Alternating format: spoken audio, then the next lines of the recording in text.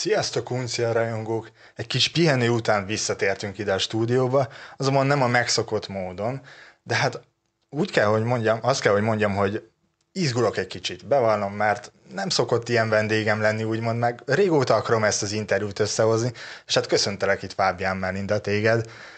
Végre összejött ez a beszélgetés, de hát egy friss világbajnokkal ülök itt szembe, és egybe lámpalázom is lett. Köszönöm, amúgy én is izgulok. Nincs egy kis csokid. A csoki megmutatna igen, téged? igen, igen, most nagyon. Köszönöm a meghívást. Ezt szerettünk volna korábban találkozni, csak sose jött össze. Igen, nehéz volt, nehéz volt, de a lényeg, hogy most összejött. Mm. Hogyan érzed magad? Mesélj erről egy kicsit az elején. Most így hazajöttél, itt vagy? Mm, jobban, nem százszázalékosan, csak amiatt még nem tudtam kipihenni magam, mióta hazajöttünk, és egyébként pedig hát bajnoknak, és nagyon jó érzés. Sok pluszt adott, nagyon sokat gondolkodtam az elmúlt három hétben, ugye most már három hete, hogy volt a meccs, és hogy milyen, milyen energiákat, meg milyen, milyen minőségeket adott nekem most ez a világbajnoki cím, és ilyen egész különleges felismeréseim vannak. Na majd akkor erre később visszatérünk, de szeretném ezt felépíteni ezt a beszélgetést, és visszamenni teljesen a kezdetekhez, hiszen azért te karriered megérdemli azt, hogy ezt egy kerek sztoriba foglaljuk. Milyen gyerekkorod volt, milyen gyerek voltál egyáltalán? Uh-huh. Ö, hát nagyon izgága. Állandóan mentem. Nem szerettem otthon lenni.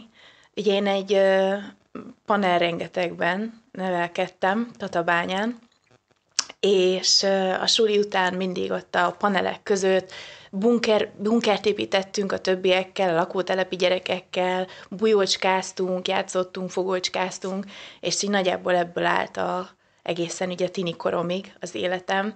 A sulira nem nagyon figyeltem, azért hoztam úgy a jegyeket, hogy azért görbüljön, mindig ezt kérte apukám, hogy görbüljön, és akkor mellette nagyon aktívan sportoltam. Kosárlabda, úszás, karate, szóval, ja, meg ugye a suliba atlétika ment, szóval minden. Sok sportot minden. Nagyon sokat, már nagyon akkor sokat, is. igen, igen. É, igen, igen, igen. És hogy jött végül az, hogy akkor a sport irányába menj, hiszen bármelyik másik sport adott lett volna neked? Hát választanom kellett végül egyet, mert ugye mm, nem tudom, nőttek így a, a tenivalók, így a suli mellett, és akkor nem lehetett már az, hogy, hogy elmegyek öt edzésre, mármint öt sportágat űzöm, hanem akkor egy, egy mellett le kellett tenni a voksomat, és a nevelőedző Tatabányán, illetve ugye ez a Vérteszőlősi Sportegyesület volt, Molnár István és Muncer István nevelése alatt, ők, ők így, hogy is mondjam, nagyon megfogtak engem, ilyen kis pótapukákként, meg ilyen pótnevelőkként, és így, így vonzottak be így a karate világába. Emlékszel az első edzés, amire lementél, hogy mik kavarogtak benned olyankor? Mm, az elsőre nem. Ami megmaradt így a nagyon korai szakaszból, az az volt, hogy volt egy kümite küzdelem az edzésen, és torkon vert egy lány. Azt és én is megjegyeztem volna. Igen, és ezt annyira zokon vettem, hogy azt mondtam, hogy én ezt nem hagyom. És nem az, hogy vissza akartam adni, így bosszúból, hanem azt mondtam, hogy én ennél jobb vagyok, hogy én ezt hagyjam. És akkor ez így nagyon megmaradt. Azért ez a felfogás, ez, ez végigkísérte a pályafutásodat. Szóval, tényleg, de hogy már akkor is megvolt ez Igen. benned, hogy nem feladtad, nem kifogást kerestél, hanem beleálltál és dolgoztál, mm. az azért figyelemre méltó. De ugye volt egy kiköltözés egy Svédországba mm. is. Az hogy élted meg? Megviselt? Nagyon, nagyon. Szóval ott nem volt beleszólásom. És uh, nyilván a családi ö, családi okok miatt, ugye egzisztenciális okok miatt úgy döntöttek apuék, anyu, apu, anyu, hogy, hogy ö, így éri meg, ö, és akkor én anyuval kiköltöztem Svédországba, de hát én nem beszéltem nyelveket, meg ott volt az egész ilyen baráti közösségem a sportban, meg abban az évben válogattak be egyébként a karate válogatottba, Szóval óriási szívtörés volt egyébként, és, és az első évben ilyen néma fogadalmat tettem, az, az bosszú volt, így bosszúból meg haragból, és szinte hozzá se szóltam anyukámhoz. De folytattam a karatét, szóval ilyen nagyon sok, sok klubot látogattunk meg, kint is volt akkor erre lehetőség. Kerestünk, nem volt olyan szintű edzés, úgyhogy végül is így belefáradtunk szerintem a 12. klubnál, és akkor végül is a szomszédod lakó, szomszédos lakótelepre jutott, jutottam el. Aztán ott tök jó kis, ja, ilyen szintén közösséget találtam, lett néhány barátom, mm, és, és, és ott folytattam egészen ugye 18 éves koromig a, a hát Sotokán, Kiokushi, néha tájbox, éppen milyen edző volt lenni, és milyen kedve volt. Igen. Megszeretted a kintlétet a végére? Az utolsó évet nagyon, nagyon jó volt a gimnázium, amibe kerültem, ez egy két anyelvű gimnázium volt, mm, nem, nemzetközi társaság, ilyen diplomata gyerekek, szóval tök változatos volt, és nagyon érdekes, és emellett meg rájöttem arra, hogy mindaz a tudás, meg ismeret, amit így kapok onnan, az milyen sokat fog érni a, jövőben.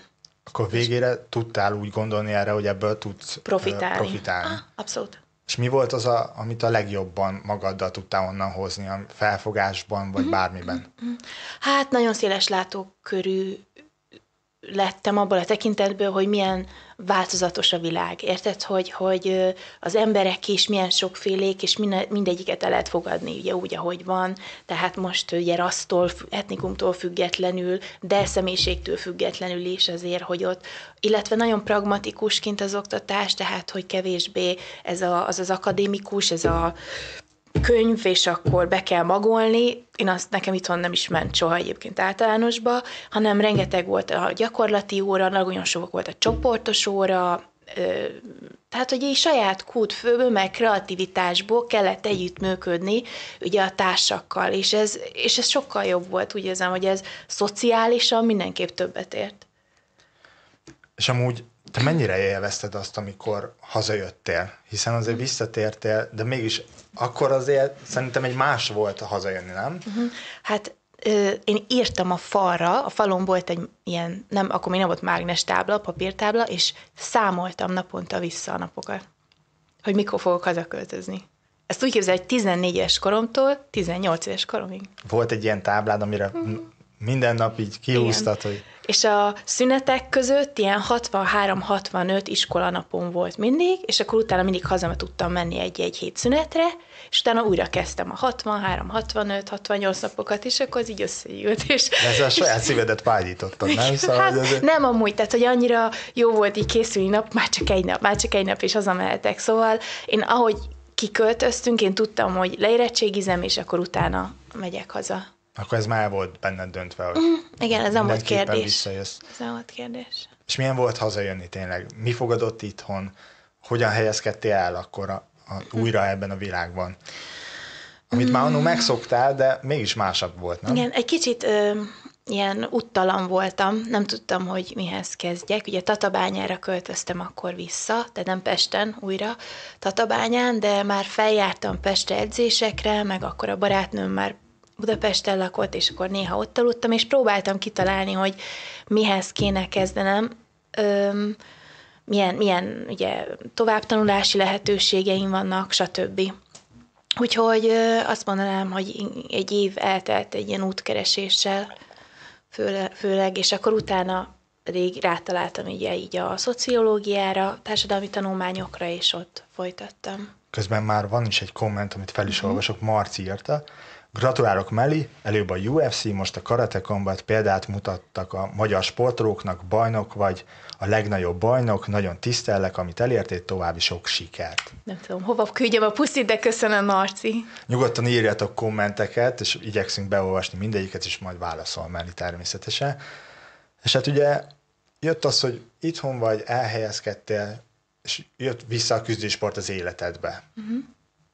Peszlen Feri mikor csatlakozott ebbe bele? Ó, hát ő még messze volt innen. Szóval nekem ugye itt már szimultán, ö, mikor hazaértem nyári szünetekből, be, ből, bocsánat, Magyarországra, a karatésokkal együtt edzőtáboroztunk a kempósokkal, Ugye ez Kurájfát Kempó, ez a legkisebb ilyen kempó stílus itthon Magyarországon, Öm, nem is ismerik annyian, de nagyon jó kis edzőtáboraink voltak, és akkor mikor hazaköltöztem 18 évesen, úgymond elszerettek, és akkor már ebben folytattam, ebben a stílusban folytattam a, a sportolást egészen 27 éves koromig. Ugye ebben a, ebben a stílusban is én vagyok az első nő, aki fekete övet szerzett, Magyarországon biztosan.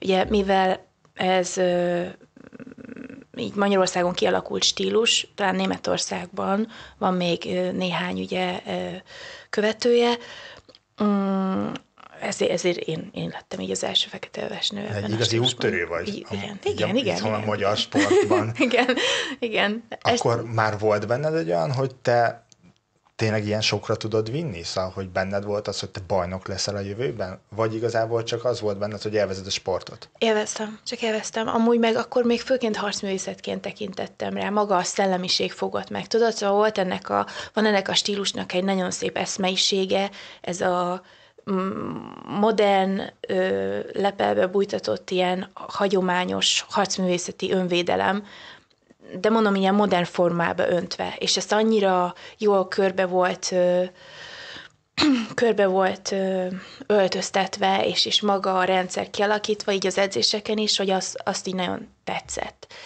Aztán próbáltam versenyezni is, de nem voltak ellenfeleim, szóval idő után kifogytak az ellenfelek, mert visszamondogatták már, meg egyszerűen nem, nem, nem álltak ki, és, és akkor döntöttem úgy, hogy akkor csinálok egy saját sportegyesületet, ez ugye a Műszaki Egyetem kollégiumában volt, és amúgy innen is puszilom a akkori tanítványaimat, mert ők, őket nagyon szerettem, mai napig gondolok rájuk, nagyon szerettem velük edzeni, és talán 2014-től egészen, nem, korábban, bocsánat, 2012-től 2015-ig valahogy így volt az Egyesület. Közel négy év négy évig vittem. Szeretted azt csinálni? Nagyon, nagyon. Tehát, hogy annyira engem nagyon feltölt energiával, amikor tudod így mond, elmagyarázhatok valamit, és, és nem feltétlenül olyan részletben menően, mint mondjuk egy Feri, tudod, hogy én analizálva, hanem magát ezt a, mm, ezt, amikor elmagyarázom, hogy mi az az energia, meg az a spirit, amivel ezt végre kell hajtanod, és amit érezned kell közben, vagy amit érdemes felvenni e közben, milyen lelkületet, és akkor én, amikor látod az emberek csillogását, tudod, ez rengeteget tud adni. Te ízig-vérig szereted ezt a sportot. Nagyon, Hallani, nagyon, ahogy beszélsz róla, hogy nagyon jó érzés hallani téged. Igen.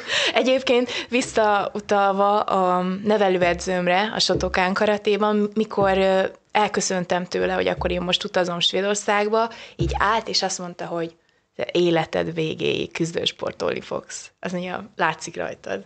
Szóval, és mennyire igaza van, mert én is ezt érzem, hogy szóval nehéz, nehéz abba hagyni, vagy nem is tudom, hogy abba akarom-e hagyni. Nyilván a versenyzést abba fogom, de, de hogy magát a... Hát a sporttól szerintem nem fogsz elszakadni. Igen, igen. Valószínűleg. De tényleg, ugye teltek az idők, és ahogy mondtad, szép sikereket elértél, majd jött az MMA valahogy az életedbe. Mm. Ugye mesélj erre egy kicsit, hiszen hallottam már sztorit, de azért mm. ezt a mhm. teszádba szeretném hallani. Igen, igen, igen, igen. Öm, hát, hogy ugye volt egy ö, ominózus este, feldobta az internet a, a, egy gálát, feldobott egy MMA gálát, amit akkoriban csináltak itthon Magyarországon, és volt egy női meccs, és akkor a női meccs nagyon nem tetszett. Ugye ez volt a lényeg, hogy néztem, és így fogtam, hogy úristen, hát ezt nem, nem, nem tudom bunyónak nevezni, hogy ezt én sokkal jobban csinálnám. És, nem csak beszélsz róla, hanem cselekszel Igen, is. igen, és tényleg az volt, pont ugye tegnap tettem ki sztoriba, mert tegnap volt kilenc éve, ugye megkerestem a Ferit, és ez egy ismerősömön keresztül jött, egy barátnőmön keresztül jött, és ő ajánlotta, két embert ajánlott, és ebből a Feri nyert, ugye a másik nem biztos, hogy nehéz kitalálni, a másik Pesten lévő MMA harcművészet, vagy MMA klub volt akkor. Szeretném elmondani, hogy Feri nagy szerencsés vagy, hogy velük. Igen, és akkor, és akkor ez volt a, ugye ez, a, ez volt az aranyköpés, amikor felhívtam telefonon, hogy tipegjék le a játszós ruhájába, a látszós, az én játszós ruhámba, és akkor meglátjuk, hogy mit, mit, mi, mi lesz belőle. Ez finoman már itt is beszólt egy kicsit, Beszólt, nem? Szóval, igen. Hogy... De aztán a rákövetkező szóval lementem, és azt mondta, hogy jó, 30, 30 perc árnyékolás, és jó, és akkor elkezdtem árnyékolni, és akkor ült, és akkor hm, nem rossz, de a jó nem ilyen.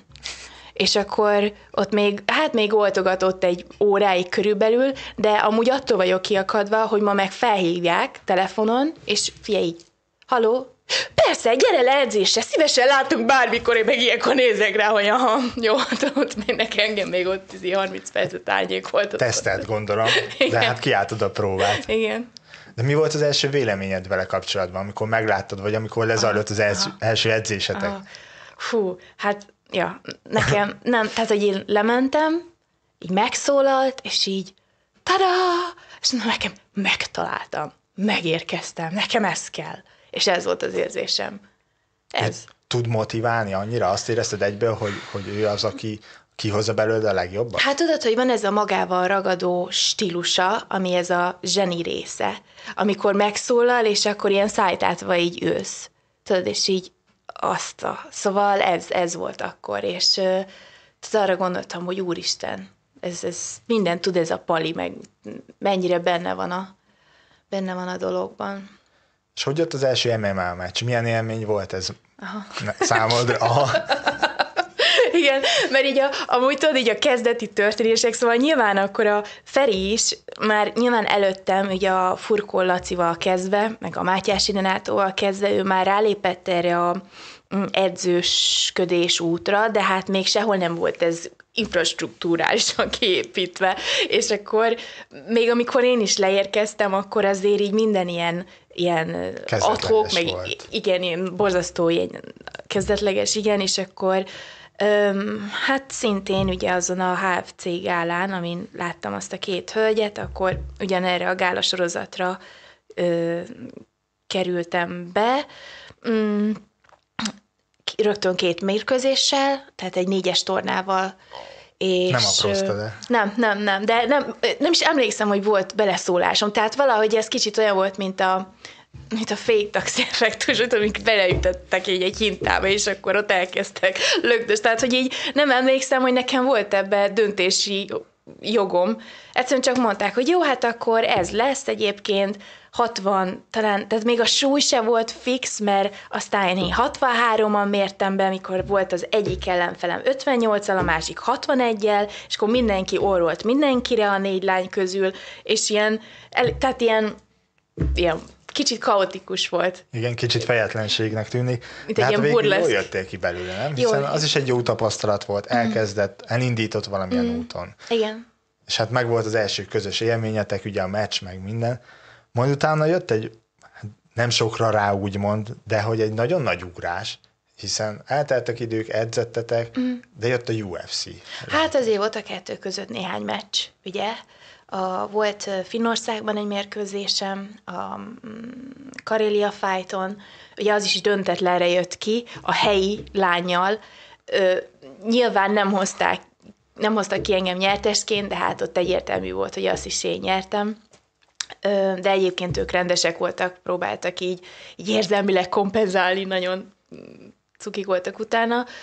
Aztán volt Németországban is egy mérkőzésem, talán kettő is volt. Volt, volt Szlovákiában.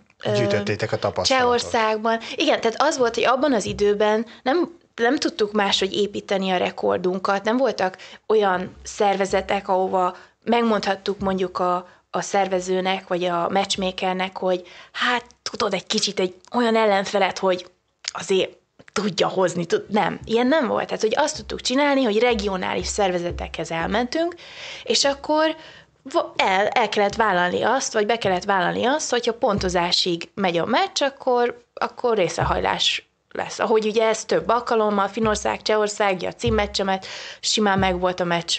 Azóta sincs fenn, elkérte, még a UFC is elkérte az O2-től, a tévétől, a felvételt nem adták oda. Nem véletlenül.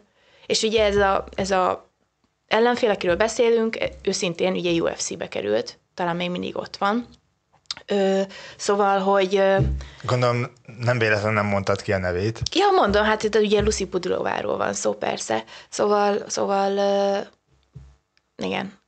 Bánt az, ez téged? Az, az, abban tudod, mi bántott? Az, hogy a, az ötödik menet végére a ketret szélén ült és sírt, nem tudott felállni, még a közönség is hurrogott, hogy őt hozták ki, Majd az öltözőben így ülünk a többiekkel, és bejön valaki, hogy üzeni a Lucy, hogy menj át. És így össznézünk, és mondtuk, hogy na tudod mit, szóval nem. Tehát, hogy legalább annyi, akkor jöjjön át ő. Igen. Ennyi azért kiállt. Igen, de nem. Szóval, és akkor még utána még írtak a csehek egyébként, hogy lebezzek fel, de hát nem. Ezért, tehát ez előfordul, ugye ez előfordul. Most is előfordul, ugye. Öm, talán a Máté Kertész Máténak volt egy még ezt hasonló. jobban el lehetett sikálni, nem? Szóval, Jobban, jobban el lehet. Nem volt, meg ugye az nem egy, nem egy oktogon volt, ez nem is tudom, GFC, az volt egyébként talán az előfutára, mert ugye onnan lettek össze összeboronálva aztán később, de, de igen, tehát, hogy hát ezt így elsimliskedték. Szóval ez bánt benne, tudod, hogy ott annyira, tehát, tehát amúgy azt még mindig úgy gondolom, hogy nem technikailag, de, de az egyik legjobb bunyom volt. Mert ott annyira domináns voltam, annyira jól tudtam nyerni, és emlékszem, hogy a birkózó edző az így a ketrecet így rázta, és így üvöltött, és úgy élvezte, azt mondta utána, hogy ez, ez neki is életében az egyik legjobb élmény volt, mert hogy annyira nagy volt ott az energia, tudod, hogy annyira bunyózni akartunk, és jó volt az egész atmoszféra. Mégsem tört meg, ez sem. Szóval, hogy pedig annyi akadály gördült eléd, és mégsem egyik sem riasztott meg attól, hogy tovább lépj és menj előre. Mm. Azért ez, ez nem semmi tényleg, szóval, hogy Hát kell egy adag makadság, Igen. vagy két adag, nem van benned, Jécskán? Van, igen. Közben a Budapest Top Team nevében írt valaki, de lehet, hogy az Feri lesz, ugye? ugye a játszós ruhádba, sírós nevetős fej, Szóval igen. és egy szívecske is oda került. szóval, Igen, hogy- igen, igen, igen. Igen. Hogy igen. Térjünk rá akkor úgymond tényleg a UFC-re, hiszen uh-huh. az, az ná- számodra egy olyan, szerintem te sem hitted el, hogy az tényleg oda kerülsz uh-huh. hirtelen. Ja, nem. Ne. Hogyan jött ez az egész lehetőség? Hogyan akadtál rá erre? Uh-huh. Mm, kim voltam a Muay Thai válogatott a Fehér Oroszországban, világbajnokságon. Pont benn voltunk a szálláson, tudom, egyik este, szintén laptopozás közben, és nézegettem a UFC, vagy az MMA Junkie oldalát. Soha nem néztem előtte. És akkor ott volt valami írás, tehát tényleg, tehát ez van meg, figyelj, írás, bla bla bla, UFC. Á, rákattintok. Azt mondja, apply. Á, rákattintok. És így hívtam a Feri, mondom, Feri, figyelj már, itt lehet valamire jelentkezni, kitöltöm, jó? Azt mondja, jó, töltsed. És akkor, és ennyi volt, és valójában hetekkel később realizáltam én, hogy ez egy reality show, tehát egy valóság show, és és így, tehát, hogy, hogy, hogy nem is gondoltam bele, egyszerűen csak megláttam, tudod, ilyen célirányos, amit a, mint akkor van az, a, van az a szűrő, tudod, a fotóknál, hogy így minden ilyen blurry lesz, ilyen elhomályosul, és akkor így középen UFC, és akkor ennyi. És igen, ez ugye a TUF-nak volt a, a legújabb valóságsója abban az évben. A, úgy emlékszem egyébként ugye 61 és 52 kilóra hirdették meg, tehát én még a 61 kilóra jelentkeztem. Aztán, amikor kimentünk a tryoutra, aminél igen, eladtam az autómat, egy jegyet vettünk csak odafele, csak hogy ki tudjunk Igen, ezt már jutni. sokszor igen, igen, igen. Ez amúgy tényleg, ha így visszagondolok, nagy sztori. Tehát, hogy persze, ez amúgy egy belevaló dolog. Igen, de ez valószínűleg ez a UFC-nek is tetszett, hogy volt egy sztori is, Igen, nem? Szóval, igen. E, hogy igen. Plusz azért Igen. egy magyar nemzeti, tényleg te hirdetted azt, hogy magyar vagy, és itt vagy, és, és nyerni fogsz, és szerintem ez, ez tetszett nekik. Igen, igen. Tehát, hogy a, mindig ugye azt kell ö, belátni, hogy a showbizniszben kell valami, amire építhetik a karaktert. Tehát, hogy valami sztori, vagy va- személyiség, mm, Érted? Tehát, hogy, és ez nekik mindig minden, minden pluszpont volt. És amikor kimentünk a tryoutra, igen, volt egy ilyen meghallgatás, úgy, mint a, tényleg a filmekben, egy ilyen tök ijesztő, tudod, egy óriás ilyen tölgyfaasztal, húsz emberrel, ilyen nagyon komolyan ülnek, és ott ültem, és előtte annyit mondtak, mielőtt bementem, hogy akkor most add el magad. És akkor, jó, a, egyébként a ruhámat a Feri választotta ki, és azóta erre nagyon büszke, hogy biztos, hogy amiatt választottak be. Igen, igen nem is a személyiséget Igen, miatt, igen, igen, igen, az, minden. az nem érdekel senkit persze.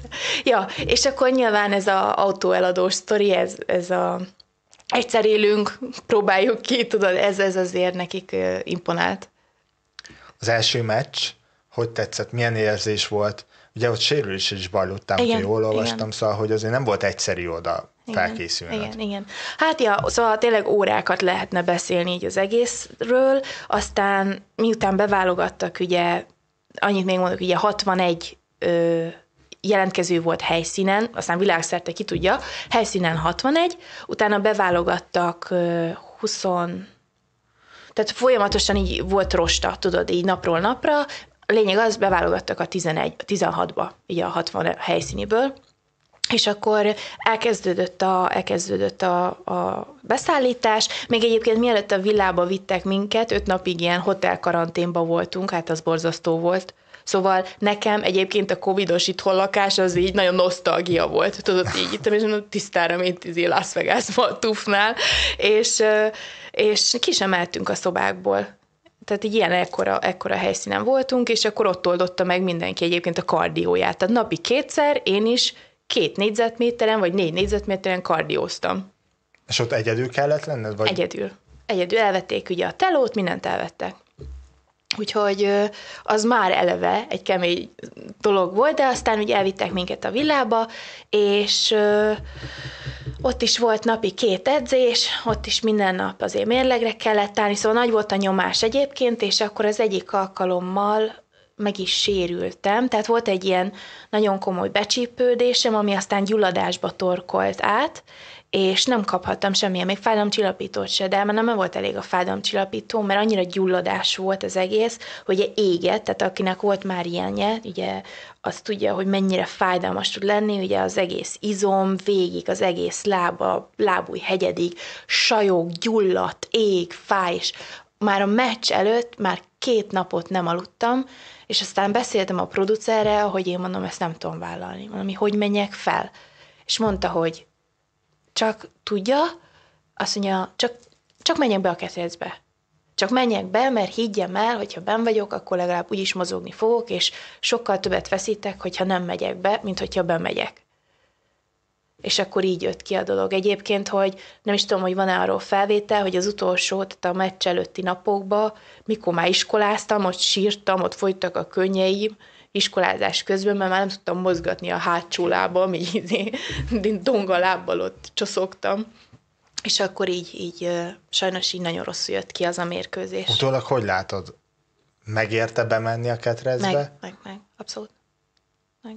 Miért? Miért érzed azt, hogy tényleg ez volt a jó döntés, mint sem, hogy nem tudom, mi, mik lehettek volna ott még az opciók?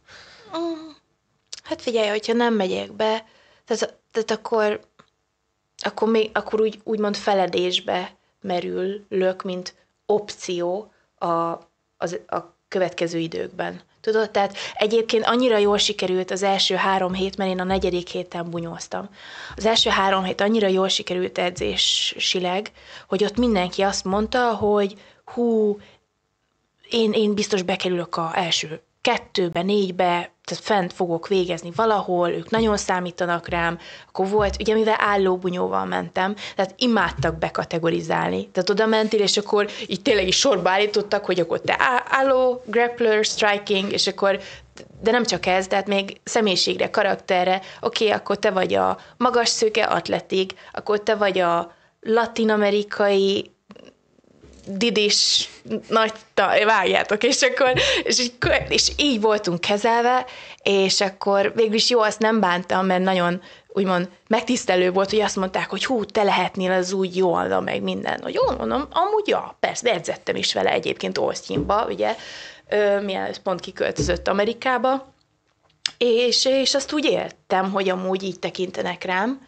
Tehát, hogyha nem megyek ki, akkor azt gondolom, hogy show szempontjából, meg a, tehát a Danavát, meg a biznisz szempontjából, akkor azt mondták volna, hogy hát erre nem nagyon lehet számítani. Hát akkor ezt még, tehát hogy érted, nekik azért fontos, hogy például, ha van egy ö, kieső bunyós, akkor short notice-ba behívjanak valami, hát akkor ez valószínűleg nem az a csaj lesz. Aztán persze én csak short notice kaptam utána a UFC-be.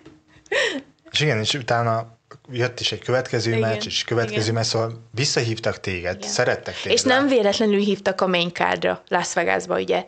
Hát mert amúgy, tehát hogy nagy babérokat fűztek hozzám. Ugye, tehát a többi lány egyébként így, így nézett, tudod, így hunyorgott, hogy miért kerültem én a main cardra. De hát én tudom még, mert én jobb voltam náluk, ezért kerültem a main cardra, csak a tufon ez nem jött ki. Ennyi. És milyen érzés volt az, amikor tényleg ott voltál main cardon? Azt megtudni, hogy tényleg oda kerülsz, hogy, hogy ez most már tényleg úgymond a nagy színpad. Aha, aha. Hát menő, menő érzés volt, nagyon jó volt. Nagyon Melyik jó volt a legjobb része? Bevonulás?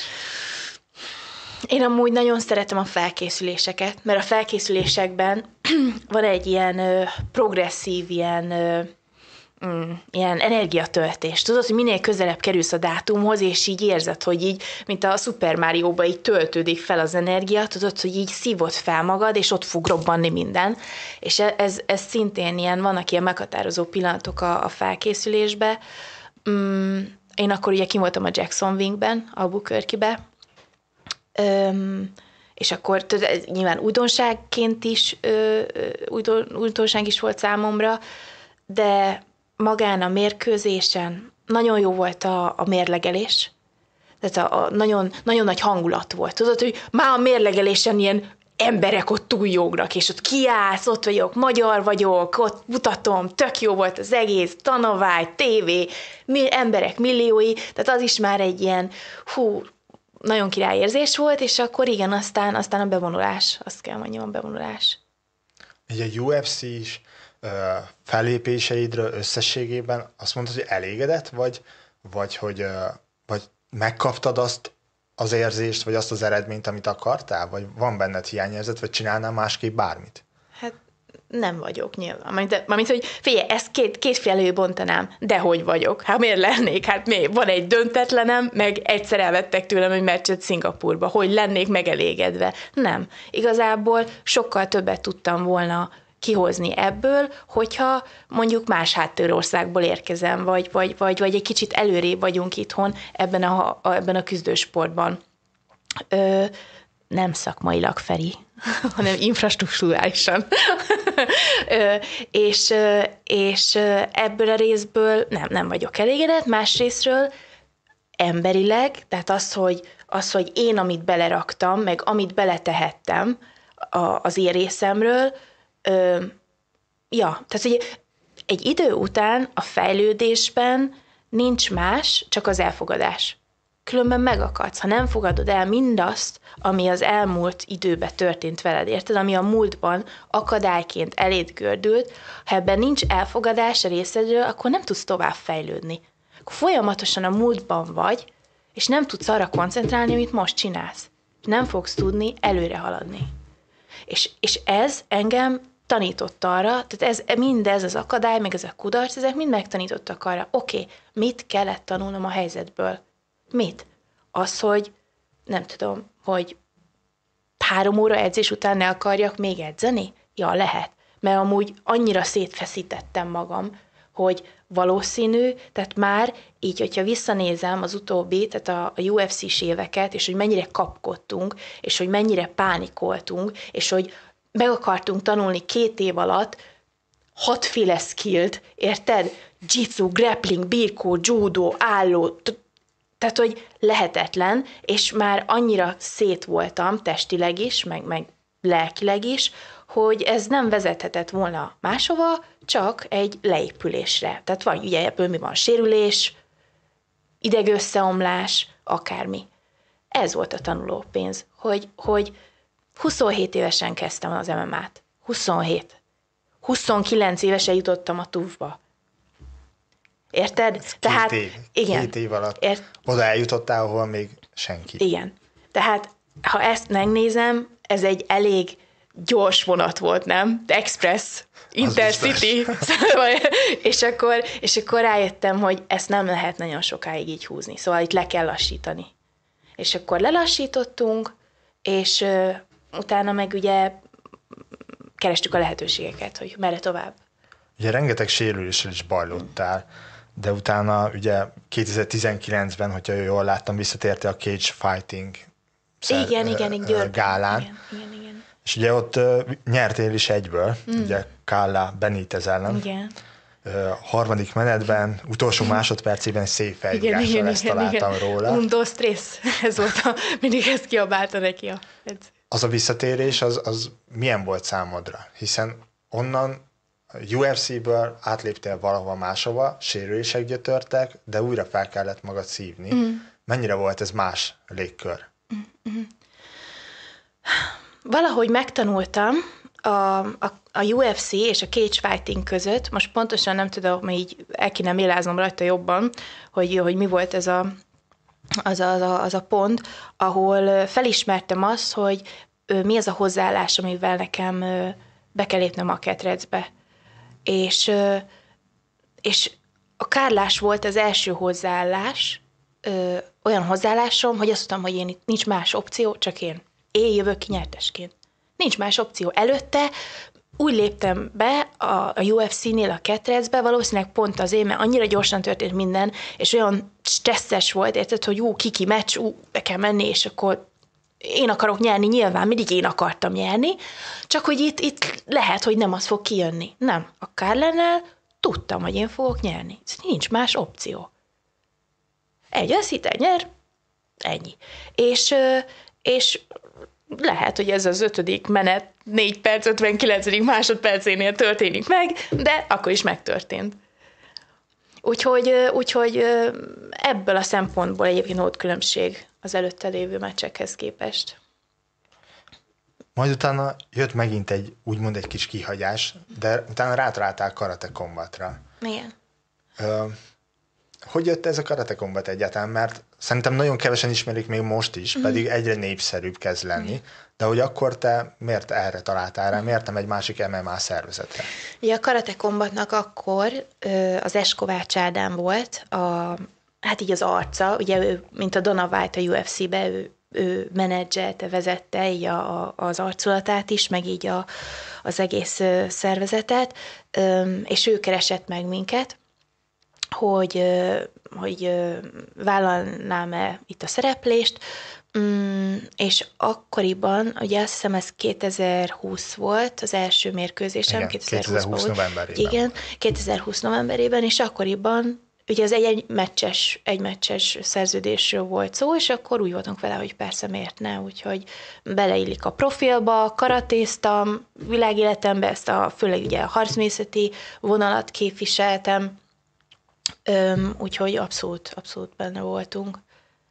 Ugye nyertél is, ugye Anna Luisa ellen. Skywalker. Skywalker a, a, azt találtam, azt a becenővet találtam vele kapcsolatban. Én is meglepődtem.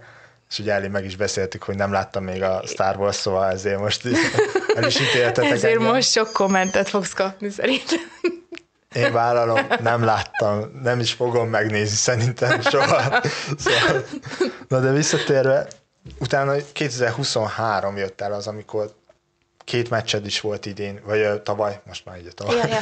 Igen, két meccsed is volt, felpörögtek úgymond az események, de hogy, hogy jutottál oda, hogy a, a címről kelljen tárgyalni, hiszen a meccseket megnyerted, de azért ott voltak tárgyalási problémák is, hogyha jól hallottam, Igen. vagy nehézségek. Amikor aláírtuk a szerződést erre a erre az, hát is erre az négy meccses ö, évadra, ugye ez volt ö, 2022-ben, tehát most, tehát ez két évre szó, 24 hónap, 2022-ben, és akkor ö, a matchmaker úgy, mm, hogy is mondjam, lógatta be a répát elénk, tudod, hogy, hogy akkor ők körém építenék ezt a mezőnyt, ezt a, ezt a 61 kilót, és akkor ez a végén kifutna egy, egy világbajnoki címben. Tehát ez volt a terv. Egyébként, nem mindegy, szerintem elég lassan sikerült idáig elérni így két év alatt, és, és ez, ez azért egy elég jól hangzó dolog volt. Ugye, Elnyerte a tetszéseteket. igen, igen, igen, igen. Úgyhogy ez volt igazából az ok, amiért így aláírtunk, és maga a címmeccs, amúgy ezt már akartuk, tehát ezt akartuk elsőnek, hogy akkor mi azonnal címmecselünk, de a, az ellen, a mostani ellenfelem, így a Omájra, ő ezt húzta, halasztotta, először azzal az indokkal, hogy nekem még csak egy meccsen volt a kombatban, neki már talán három, akkor, tehát hogy nekem, engem megépíteni kell, jó? És akkor jött a Erika Santos, ő nem tudom neki milyen beceneve van, csak...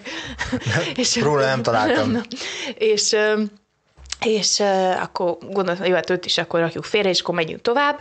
Rakjuk és, félre. Hát, de mert tényleg, tehát ezt kell mondanom, hogy valamiért nekem ugye a nem is tudom, hogy volt-e a Carla Benitez előtt dél-amerikai ellenfelem, de valahogy itt még mindig azóta csak dél-amerikai ellenfeleket kapok, és így bekattan. Nekem, a, nekem őket így, így, így el. Tehát, hogy így szépen így el, elállítom a sorból, és én megyek, haladok a célon felé. Nem volt kérdés. Ez nem volt kérdés. És csak arra vártam, hogy akkor mikor jön el az a, az a mérkőzés, ahol én végleg meg tudom szerezni a címemet. És így volt, meg volt a Santos mérkőzés, tényleg beszéltük is Ferivel, hogy az egyik leg jobb hangulatú, tehát tényleg a valaha legjobb hangulatú felkészülés volt, meccs volt, figyelj, meccs hetében röhögcséltünk, még ott nem tudom, tehát tényleg sakkozgattunk, kártyázgattunk, így annyira el volt, semmi feszülés nem volt, mert, már, mert annyira egyértelmű volt, hogy a belefektetett munkánk az minden esetben ki fog jönni. Minden esetben és és megvolt a Santosos mérkőzés, és utána már júniusra egyébként lett volna a világbajnoki cím, de azt is Omájra elodázta, egészen decemberig, én folyamatosan kérdeztük, hogy akkor mi lesz, mi lesz, mi lesz, és akkor mindig jött valami válasz, hogy most nem apu beteg, meg nem tudom, most fáj a bokám, fáj a hajam, viszket a körmöm, és akkor... A végtelenségig nem lehetett húzni. Így van, és természetesen mi elég későn kaptuk meg egyébként a hivatalos értesítést, hogy lesz ez a címmeccs. Tudtuk, hogy ez valószínűsíthetően nem véletlenül, hiszen Amazon királynője sokkal jobban eladható, mint egy kis tatabányai panellány, ugye, és akkor ezzel egy kicsit előnyt szerezvén számára ö, így, így, így oldották meg a kommunikációt, de mi furfangosak vagyunk, rafináltak, és elkezdtünk készülni már ugye egészen korán, tehát hogy speciálisan erre a mérkőzésre már szeptemberben elkezdtünk készülni. Akkor teljesen tudatosan felépítettétek azt, hogy akkor mm. bármikor jön a címmérkőzés, azt meg is akarod mm. nyerni, és készen fogsz állni. Amikor kikerültetek, kimentetek ugye Vegasba, milyen volt ott a hangulat, milyen volt az egészbe beleszípontani, hogy itt a címmérkőzés kapujában vagy, és hogy tényleg már csak egy lépésre vagy a tald.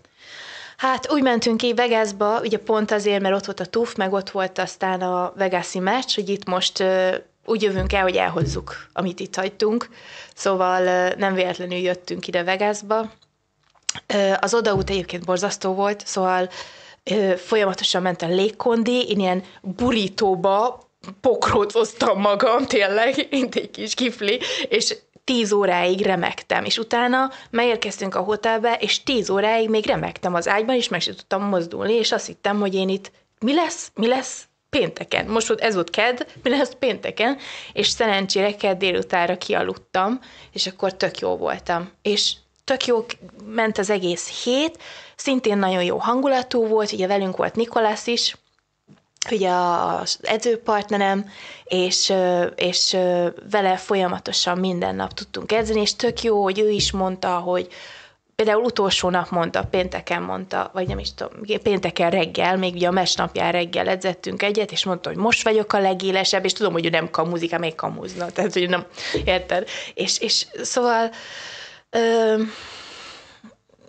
azt mondom, hogy ott, ott ö, kevésbé volt ilyen, ilyen felszabadult a hangulat most ezen a Fight week mint mondjuk az áprilisin, mert tudtuk, hogy nagyobb a tét, viszont a magabiztosság az, az, az, tehát az törhetetlen volt, az full szilárd volt. De ha jól hallottam, pont előtte volt egy kis sérülés is megint. Öm, volt a, most nem tudom, melyikre gondolsz. A Nikolásszal kapcsolatban. Ja, igen, a meccs előtt, igen, tehát a meccs előtt a bemelegítésem, tehát ez ilyen világszínvonalú bemelegítés volt, tényleg az volt, hogy ott ült a Liotó Macsida, mert neki ott bunyózott a testvére, meg ott volt a szindikétemen már, meg tényleg ilyen MMA, meg harcművész legendák voltak, és akkor tudod, ott, ott melegítettem a Nikolásszal előttük, és így még így, hm, így gondoltam is magamba, hogy milyen menő vagyok, mert mindenkinek így tudod, csüng a szeme, hogy milyen jó dolgokat csinálok. És egyszer csak egyébként ilyen túlbuzgó mócsing módjára rúgtam egyet a Nikolász könyökébe, nyilván védők nélkül melegítettünk már be, és akkor kicsit túltoltam. Mint a, mint a susogós mackókban, tudod, a Brandon, amikor iszik egy kávét, és akkor dinamikus mackó lettem, dinamikus mackó, és akkor Brandon, szerintem hagyjad. Na ezt kellett volna csinálni, hogy hagyjam, de nem. Túltoltam, belerúgtam a könyökébe, azonnal egy ekkora pukli lett, de tudod, ez a klasszikus, nem veszek róla tudomást, elnéztem az ellenkező irányba, mondtam a Nikónak, hogy Nikó, kezdem a szirozni, és közben így néztem el így valahova távolba, távolítottam el magam a történésektől. és akkor és akkor úgy mentem ki, hogy már volt egy jó nagy pukli a lábamon. Tényleg neked minden akadály elé tud kerülni. igen, szóval, igen, igen. De hogyha nincs, akkor te csinálsz magadnak ja, akadályt. Hát igen, igen, igen, de legyőzted. Az igen. ellenfeledet is legyőzted. Egy kemény meccs volt, de nagyon felpörögte a végére, és mm. megnéztem a mérkőzést, és nagyon nem tetszett az ellenfelednek a reakciója. Mm. Szóval az, hogy kezet sem fogott veled, ott hőbörgött ugye a leállítás miatt, mm. pedig én nem vagyok nagy szakértő, de azért látszódott, hogy ott, ha tovább is engedik, nem sokáig húzza már. Igen. Te hogy láttad ezt az egészet? Hát figyelj, én a, a Fight Week alatt próbáltam egy kicsit így megérezni, hogy ő milyen, tudod, hogy, hogy ö, milyen szem, így, ilyenkor szoktam azért, hm, hogy is mondjam, érzékelni, hogy kinek milyenek az energiái, hogy ő most megjátsza azt, hogy ő ő egyébként így kiáll, és akkor amúgy belül fél, vagy tehát, hogy azért ilyen mentális pszichológiát én is szeretek nyomni, nem véletlenül, és, és azért azt vettük észre rajta, hogy hogy ő nem túl hogy is mondjam, magabiztos. Tehát, hogy ha magabiztos, az inkább egóból magabiztos, nem pedig egy ilyen belső stabilitásból. Tudod? És, és aztán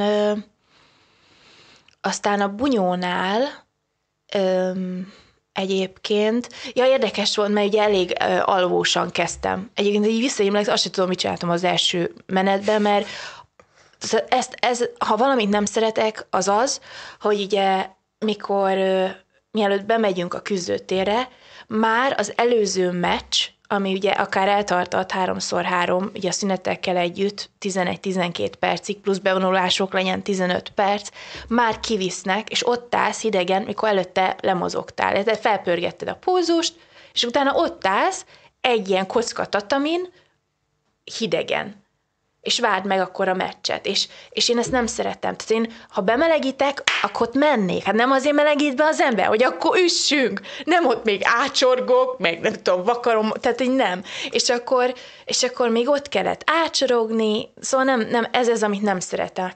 Ilyenkor, ilyenkor így el tudod, elálmosodhatok, eltávolodom. Ennek is köszönhető szerinted az, hogy ott az elején Igen, igen, volt igen. Egy bealvás? Igen, igen. Ami érdekes, mert ugye az előző mérkőzéseken nem volt ilyen bealvás, de úgy emlékszem, hogy ott nem is kellett ilyen sokat várnom. Itt most kivételesen sokat kellett várnom, aztán volt is egy kis szünet a main card, vagy nem tudom, ott az előző meccs előtt. Na mindegy. És akkor talán a második végére amúgy már kezdtem felébredni, de elrúgtam a lábam ott is. Tehát, hogy ugye ugyanazt a lábam, amit a Nikolászon elrúgtam, ugye a kávkikeket próbáltam, de nagyon rossz szögből rúgtam meg, nagyon rossz szívben, és totál elrúgtam a bokámat, és akkor ott látszik is, hogy ilyen karatekidbe így kicsit elkezdek szögdelni. Amúgy, amúgy meg kellett volna csinálnom, úgy utólag meg kellett volna csinálnom a karatekit. Milyen epikus pillanat lett volna. Na minden. Éreztél fájdalmat közben? Vagy Borzasztóan azért... fájt, persze. Hát az nagyon fájt. Tehát, hogy ö, igen, tehát hogy azért kezdtem el ugrálni, mert éreztem, hogy hát itt most, itt most lehet, hogy így egy lábon csinálom végig, de aztán a második után és, és ez volt valószínű, a Feri ezt látta rajtam. Tehát e, nyilván, ha valami megvan, ez nagyon megvan köztünk, hogy ez a szavak nélküli kontakt, tudod, hogy látja, hogy mi van rajtam. És ez volt bennem, hogy tudtam, hogy megnyerem, de egy pillanatig nem rendültem meg abba, hogy én ezt a meccset hozni fogom, és tudod, így az első két menet után így most mit kéne csinálnom, mit csinálok rosszul, tudod, vagy mi, mi az, amitől most így nem, nem, nem jön ki a dolog. És ez volt az, amit a Feri mondott ott a szünetbe, hogy hidd el, hogy nem törhetetlen. Ja, mert hogy nekem van egy ilyen mániám egyébként, hogy a dél-amerika, dél-amerikaiakat nem lehet lejutni, mert túl kemény a fej. És akkor valószínű ez így hozzácsatotta. Ez lehet, hogy tudat alatt volt igen, benned egy ilyen Igen, igen, gáz. és amúgy nyilván a Benit ezt is így káosztam, de igen, és akkor ezt mondta, hogy nem, törhetetlen. És ahogy ezt kimondta, így valami átkattant, és amikor visszamentem, akkor már tök tisztán hallottam, akkor már hallottam a Nikolás hangját is, mert őt is kértem, hogy miket mondjon, és akkor igaz, hogy nem tudtam szépen megoldani. Tehát a lábmunkám az elveszett, az már bemelegítésnél ugye elveszett a lábmunkám. Öm, úgyhogy, úgyhogy ott úgy voltam, hogy akkor mi más van. Hm, akkor Hát megtörtént. akkor ütök. És akkor, és akkor nyilván az volt, hogy, hogy hát ott volt spagetti láb, meg, meg, meg én már láttam a Mike Goddardon egyébként, hogy ő már így, így tudod, nézte, talán három-négy alkalom, hogy mikor ugorjon be, csak aztán később elmondták, hogy mivel címérkőzés volt, ezért hagyta ilyen sokáig. De hát igen, és, és igen, meg volt, leállította a doki, egyébként én szívesen mentem volna tovább, mert, mert mi lett volna a folytatás? Tehát, hogyha ha a doki tovább engedi, akkor még annyi ideje se lett volna pihenni, hogy, vagy nem is tudom, akkor már lejárta az idő, akkor talán lejárt az idő, lehet, hogy lejárt az idő, de mondjuk tegyük fel, hogy van egy perce regenerálódni. Azért én már ott, miközben már nézte a szemét, már ott tudtam, hogy jobbra fogok neki menni, mert nem lát, már ott tudtam, hogy mit fogok csinálni vele. Tehát, hogy egy olyan taktikai előnyt Meg sikerült. lélektani előnyben is voltál már akkor. Amúgy, amúgy azt mondom, hogy kemény volt. Én úgy láttam, hogy ő, ő egóból kemény, nem, nem úgy, hogy úgy nagyon szívből. Tehát, hogy ő annyira bele lett mm, dumálva, hogy ő fogja ezt megnyerni. Tehát, hogy, hogy ő ezért nem akarta ezt elengedni, ezt a szorít. Tudod? Jó, nyilván ne is engedje el, ettől lett azért olyan jó kis bunyó, csak hogy mondom, hogy, hogy, ö, hogy mi, lett volna itt a, mi lett volna itt a felállás, ha úgy jön. Én elkezdem jobban taktikusan, hiszen már akkor kigondoltam, hogy melyik irányba megyek neki, hogy véletlenül se lásson, és még ráütök kétszer, háromszor a járom csontjára. És akkor abból mi lesz? Ténylegesen. Lehet, hogy a doktor itt most egy nagyon komoly sérülésről mentette meg. Érted? És ő akárhogy is, akár, akárhogy gondolja ő, hogy miért lett leállítva ez a dolog, tehát ezt mondom neked, ha nem tudja elfogadni, akkor ő ebbe bele fog betegedni ebbe a dologba. Semmi kommunikáció nem volt azóta köztetek? Ugye, ahogy felemelték a kezem, és láttam, hogy elmegy, én oda mentem hozzá a sarokba, ez még talán fenn van a látszott. mondtam neki, hogy figyelj, én tisztelek téged, tisztelj meg te is ezzel, mondom, rimeccseljünk akkor. Akkor se fogott még kezet velem, csak ugye talán a, a, most már a mostani vezetővel, ugye Asimmal folyamatosan beszélt valamit, és, és hát jó, hagyjuk. És azóta se híre, se, se, se nyoma, nem tudom, mi van vele. Én nem nézem az ő profilját, nekem mondták, hogy ő azóta is, ö, nem tudom, rakosgat ki valamit, hogy ez nem volt korrekt. Egyszer néztem meg az edzőjét, az még a meccs utáni héten volt, az edzője is ugyanezen a véleményen volt, szóval néha nem tudom, hogy ezek a csekettőt nézik, vagy mit, mert most tényleg, hogy mit gondoltak, hogy mi lesz. Tehát oké, okay, elhiszem azt, hogy, hogy van, mindig van a bunyóba egy ö, X-faktor, érted? Egy olyan, egy lucky punch, mindig. De van az a pont, ahonnan már nincs lucky punch, például mikor a fél arcom nincs meg. Nem? Tehát, hogy ott már nehéz lucky Nem, hát ez teljesen egyértelmű volt szerintem is, és tényleg szerintem mindenki látta azt, hogy te, te jössz ki győztesen mindenhogy már, szóval, hogy nem volt nagyon más opció arra, csak az volt a kérdés, hogyan fogsz nyerni, és hát meg is lett az eredménye, itt a bajnoki jöv. Ez mit jelent számodra? Ez, ez hova kerül a te karrieredben, hiszen nagyon gyönyörű sikereid, eredményeid vannak, de ez a csúcspont? Igen, igen, nem azt mondom, hogy a... Ö, nem, nem is tudom még, hogy foglaljam össze. Mindenképpen a, a karrier csúcspontja, ezt tuti. Ö, nyilván szak, technikailag nem úgy sikerült a meccset megcsinálnom, ahogy akartam, de aztán átgondoltam, hogy figyelj, voltak technikás meccseim, és voltak szép meccseim. Most ez így sikerült, most ezzel hoztam a meccset. És, ö, és figyelembe véve azt, hogy mikor kezdtem az MMA-t, milyen, milyen ö, utat jártam be, ö, igen, azt gondolom, hogy, hogy ez, ez, mert figyelj, na, tudod, mit nagyon sokszor ö, egyébként elgondolkozom azon, hogy azokkal, akikkel együtt kezdtem, vagy az elmúlt kilenc évben, akik esetleg csatlakoztak, aztán, aztán kiváltak, és hogy, és hogy hát tehát ettől bajnok valaki, érted? Tehát, hogy ez olyan, olyan proli hangzik, hogy kitartás, de itt a kitartásnak az eredménye. Nyilván mellette nagyon sok más is van, de hát ez egy fő szempont. És nagyon sokan azért válnak ki, mert hogy mi a garancia arra, hogy én eljutok ide? Nem. Tehát, hogy... Semmire hogy sincs garancia. Nincs. A meggyőződés a pálya szélén állóknak a luxusa. Ugye? Tehát, ha én bemegyek a pályára, akkor, akkor ott vállalom azt a kockázatot, ott történhet azért bármi, nem nincs garancia arra, de én belerakom, amit tudok. És hogy érzed? Azért tényleg vitathatatlanak az eredményeid. Most már bajnoki jöved is van. Meg vagy kellően becsülve itthon? Ja, nem.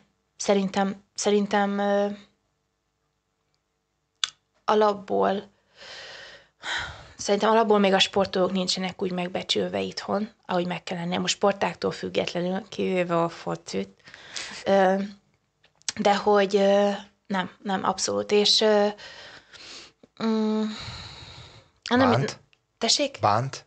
Sokáig bántott, de ez is egy olyan dolog, amit, hogyha nem fogadtam volna el, akkor beleragadtam volna. Akkor, akkor nem tudtam volna kialakítani egy olyan életmódot, ami mellett folytatni tudtam a sportot kevesebb stresszel, ö, tehát most ugye a megélhetésről beszélek, meg, meg, meg, meg az egész, tehát érted? Tehát, hogy csak így tudtam tovább lépni, hogy oké, okay, hiába várok erre, ez nem fog bekövetkezni, nem fog megérkezni ez a, ez a, ez a megbecsülés, elismerés, akár, akár ugye anyagi, szociális, tehát társadalmi, stb., hanem akkor, akkor meg kell teremtenem magamnak ezt a környezetet, és, és csak így tudtam tovább haladni az úton.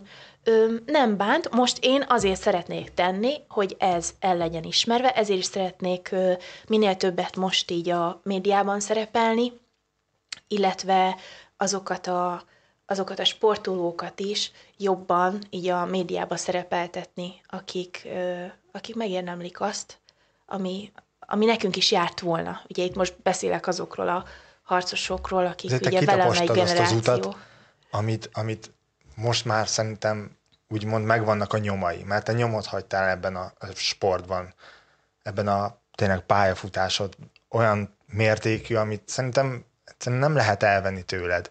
Tényleg gratulálni tudok csak, és szerintem itt az ideje, hogy mindenki ezt észrevegye. És rem, legyenek olyan sportolók, legyenek olyan sportolók, akiket tényleg te fogsz megtanítani arra, hogy hogy elkerülje azokat a hibákat, amiket te belecsúsztál a akaratod ellenére. És szerintem a legjobb helyre kerülnek, hogyha hozzád mennek. De végezetül engedj meg, mert tényleg elröppent az idő, és még van tényleg kérdés. Ja, igen, hogy de, még az első lapnál tartunk csak. De, de azt, egy utolsó kérdést engedj meg, és aztán pedig majd vissza foglak hívni, ja. és akkor folytatjuk ezt a beszélgetést hogy mit várjunk tőled erre az évre? Hány meccset tervezel? Mikor akarod megvédeni a címedet? Vagy egyáltalán vannak-e most tárgyalások erről? Ö, számít ez most? Világbajnok lettem. Akkor Érted? Nem. Szóval ezt most meg akarom élni. És ez az, ami fontos. Legyen így, legyen így. Akkor én ezt nem is fogom feszegetni. Tényleg gratulálok neked.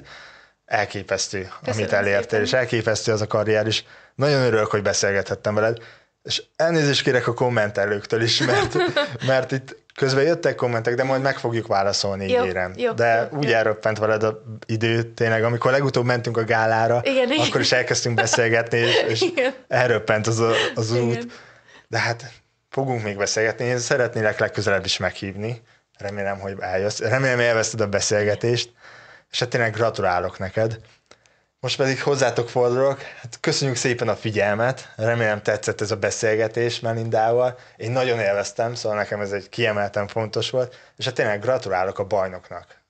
Köszönöm. Melinda, tényleg gratulálunk neki, és hát figyeljétek, mert hogy még szerintem mindig van benne. Sziasztok! Sziasztok!